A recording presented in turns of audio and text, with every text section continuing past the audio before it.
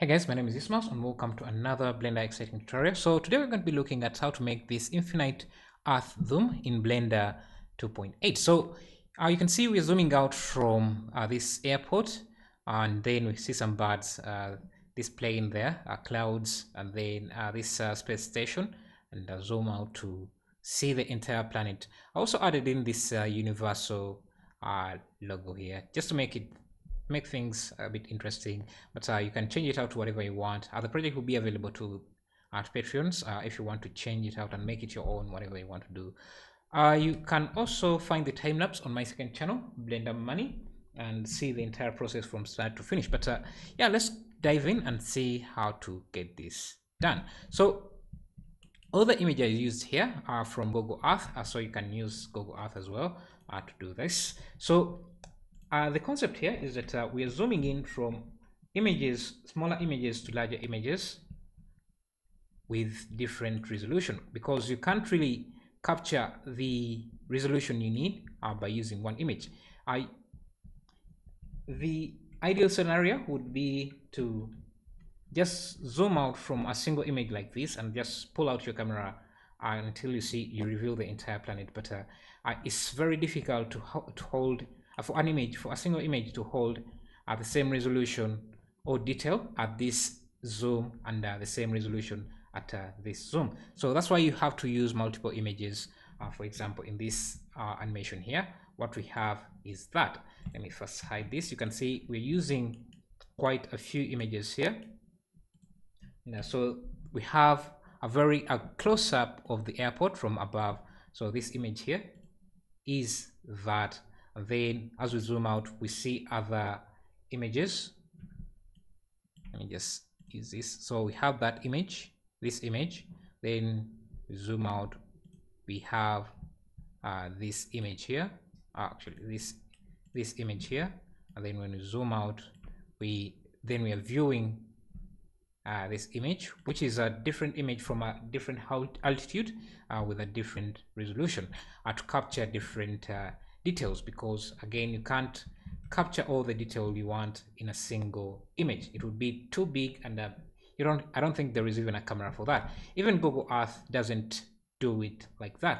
I every time you zoom in they're just loading you different images at different resolutions? Uh, so that's what we're going to be doing. Uh, the the hardest part of this would be to align up to sorry to align all the images so that the they look like so that is, is seamless. Uh, you can see we start with uh, this image of the airport, uh, the smallest image.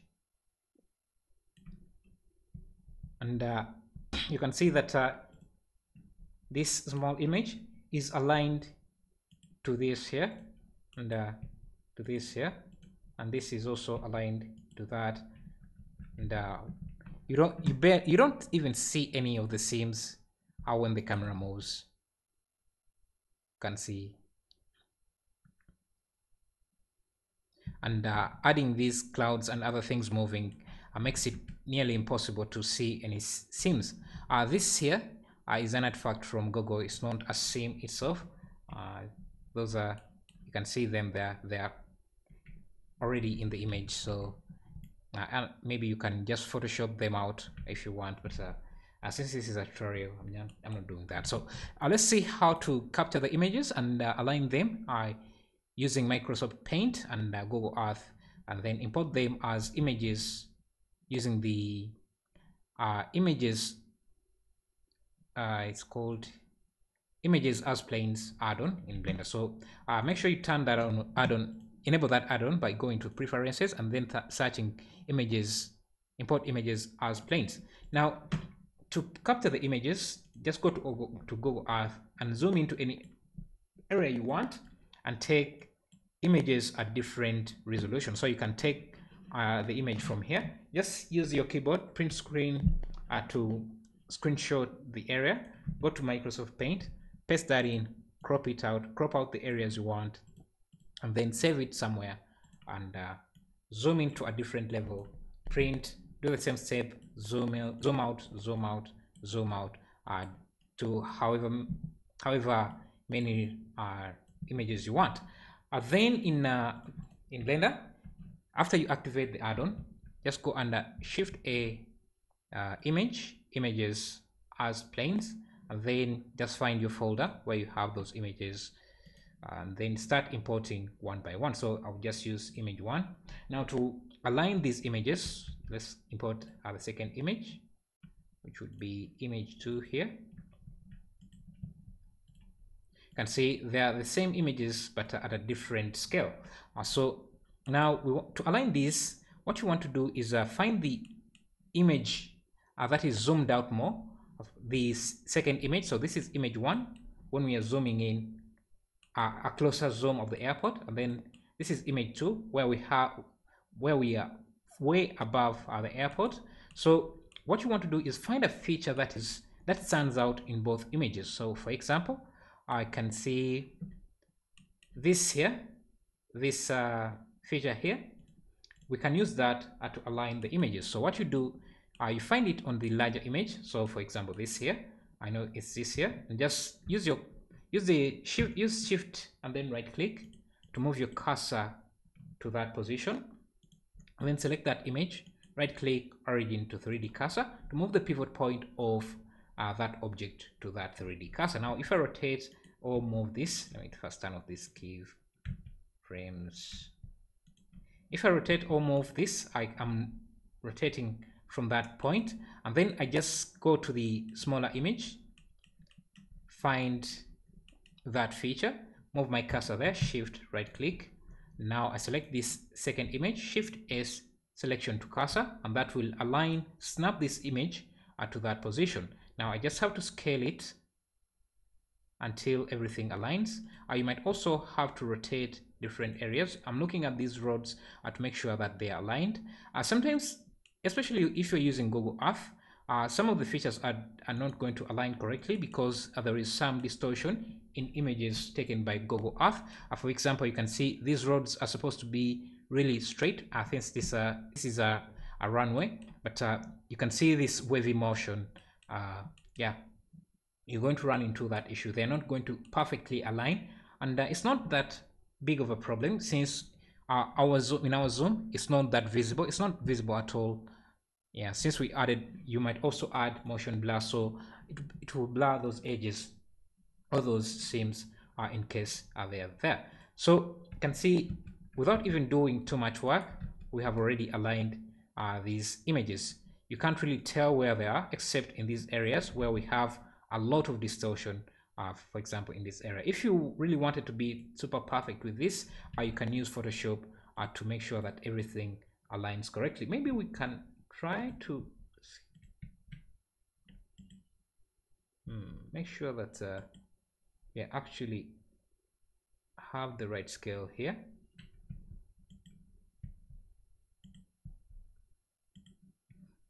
Yeah I think that's it because um, if I'm looking at if you look at these edges are they aligning up correctly? Everything that is not aligning here is uh, just a result of the distortion from Google Earth. Uh, so yeah and uh, now let's add in the second image or the th third image and align that. I'm just going to align a few images and then you can do the rest on your own. So we have another image at a different scale. Again we'll do the same thing. Uh, this time we have to use the second image. Uh, let me just bring this down so that it's not intersecting.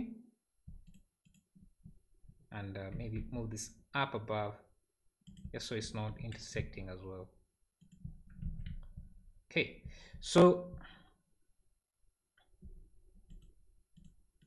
okay so let's see what else do we need? Okay so now to align this image uh, with this i'm just going to use this feature here because you can see there is a good seam here between this road here and this here. So i'm just going to find that on this larger image. So it's supposed to be this here move my cursor there. Right click origin 3d geometry. Sorry origin to 3D cursor and then find this on this here then shift S selection to cursor.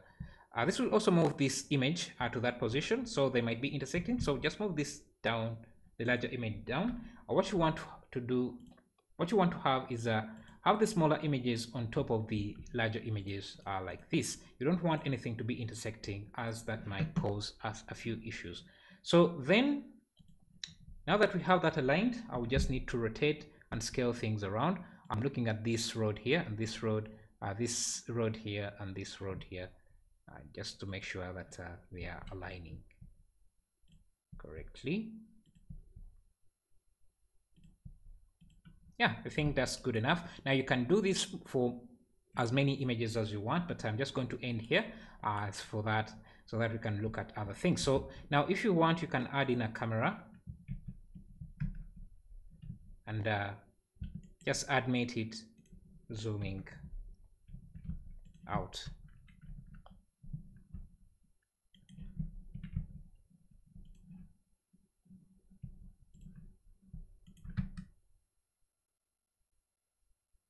You can see.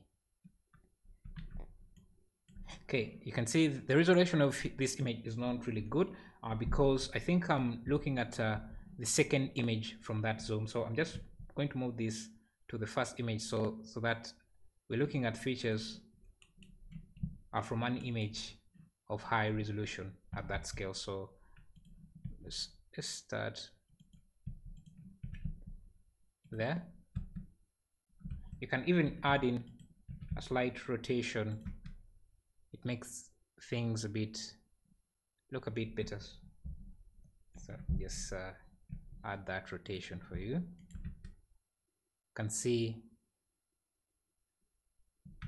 Yeah so then after that uh, to zoom out to the uh, you can add in features like clouds uh, like uh, I had in the original image here which is very simple. You just use images planes again and uh, make sure you have alpha for the clouds and uh, if you import them using the images planes add-on the it will import everything with the alpha enabled. And make sure that you turn off shadows for all the images you're going to use as you don't want to have any shadows in your scene. For example if I made this opaque